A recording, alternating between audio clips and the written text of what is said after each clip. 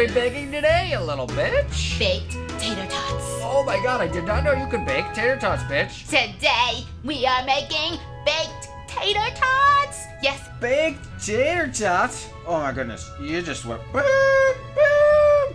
I am in freaking breakfast heaven. right? You will not miss the friedness of these because they are amazing. And you can eat like twice as many because you know that they're semi-healthy. Right? Because it's just potatoes.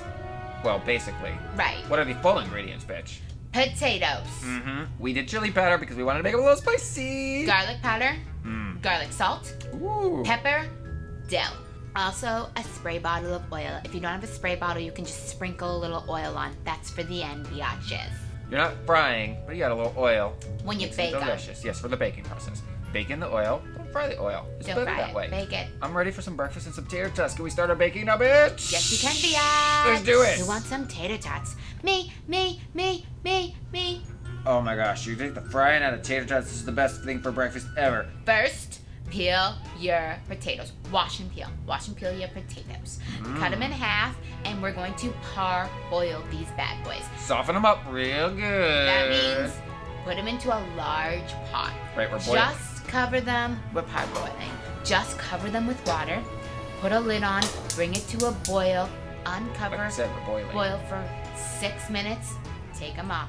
Boil. Sounds like boiling to me. It's parboiling. Sounds like boiling. They're gonna be so easy to grate then. You're gonna use a cheese grater, any kind of grater you have, and grate these bad Make boys. them nice and fine. Grate them. You're gonna have a nice big pile of shredded potatoes. Yes. And then we can form our tots. Woo! You might want to spice them first, though, right? Right.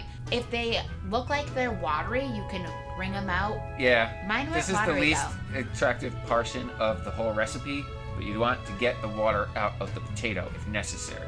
Spice them up. Add all your spices except Mm. your spritz bottle of oil. Add them all. Then, Mix it together. and, Then we're gonna form them into little tater tots. Woohoo! Yep. I recommend as many as possible, but if you want one giant tot, that's your decision. Now preheat your oven to 400 degrees. Mm. -hmm. And you've got your potato tots all laid out. All laid out. now we spray out. them with the oil. Spray 'em with the a little oil. extra juice there. Mm-hmm. If you want a little extra spice on top, you're welcome to do that too. You are welcome to do that too. And now it's time to bake. Biatches, bake these bad boys for 10 minutes. Flip them, bake them for another 10 minutes. Boom. Then they're ready to be eaten and Ready consumed eaten with your breakfast. delicious. This is wonderful I want some tots right now, please. Right. Now, Biatch over here eats these tots with his breakfast, but you can eat them with lunch and dinner like normal people do. But I Biatch over here tots are wants part of breakfast. breakfast. They're part of lunch or dinner primarily. This isn't hash browns, Biatch. Oh, so freaking good. Yum! Enjoy, Biatches. Enjoy. Sure, if you want for lunch, but breakfast. This is the best thing ever to happen to breakfast. Ever, ever, ever, ever. It's baking with bitches. I love myself some Baked tots. tater tots. Oh, this is, this is, this is, this is so good. Follow us on our Twitter.